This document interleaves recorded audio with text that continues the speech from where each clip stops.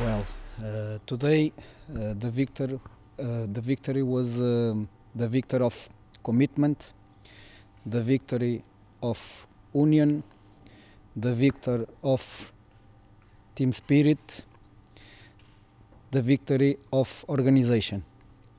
Um, my team deserve this 100% this victory. Uh, we were the, be- the better team on the pitch. We dominate almost uh, all the match. Uh, we control very well the match. Um, but at the same time, I need to say that uh, was a very tough game for us. Chalet has a very good and organized team.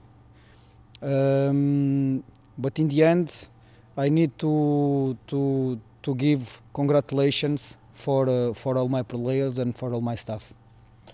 Uh, coach, your team uh, uh, will not miss a goal uh, in a third uh, match on the road.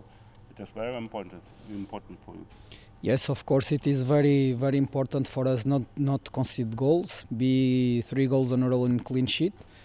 Um, we work um, very good on these times the defensive the defensive organization, um, and we know that for a team that want to fight for um, another places, we need to be very organized on the pitch, and we know if you don't concede goals, we'll be more close to win the matches.